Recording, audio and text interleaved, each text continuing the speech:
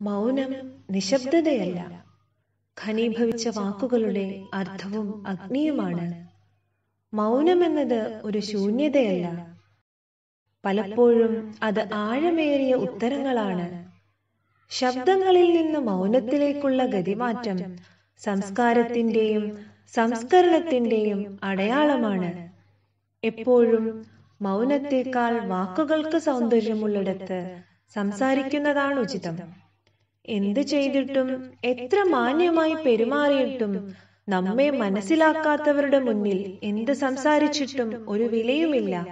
അതിന് ഒരു ഫലവും ഉണ്ടാകുന്നുമില്ല. വേണ്ടത് വേണ്ട സമയത്ത് മാത്രം സംസാരിക്കുക. മൗനം ആവശ്യമുള്ളിടത്ത് മാത്രം ഉപയോഗിക്കുക. നാം വളരെ കുറച്ച് സംസാരിക്കുമ്പോൾ കുറച്ച് തെറ്റുകൾ മാത്രമേ വരുന്നുള്ളൂ എന്നതുപോലെയാണ്.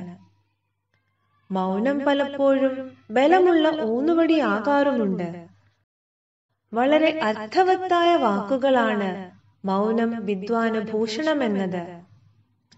മൗനം കൊണ്ട് പല സംഘർഷങ്ങളും ഇല്ലായ്മ ചെയ്യാൻ നമുക്ക് കഴിയും. വാക്കുകൾ കൊണ്ട് പോരാടാം. എന്നാൽ ആത്മസംയനമുള്ളവർക്ക് മൗനം കൊണ്ട് പലതും കീഴടക്കാൻ കഴിയുന്നതാണ്. എന്നാൽ ചിലയിടങ്ങളിൽ ചിലരുടെ മൗനം നമ്മെ തീരാ ദുഃഖത്തിൽ ആഴ്ത്താറുമുണ്ട്.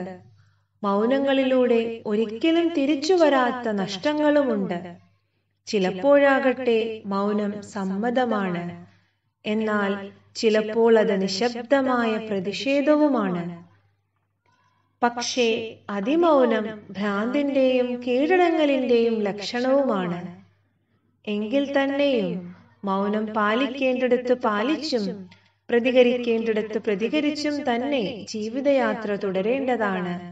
എന്തുകൊണ്ടെന്നാൽ യഥാർത്ഥ ജ്ഞാനി മൗനിയായിരിക്കണമെന്നും മൗനിയായിരിക്കുന്നവനാണ് ശരിയായ ജ്ഞാനി എന്നും പറയപ്പെടുന്നു.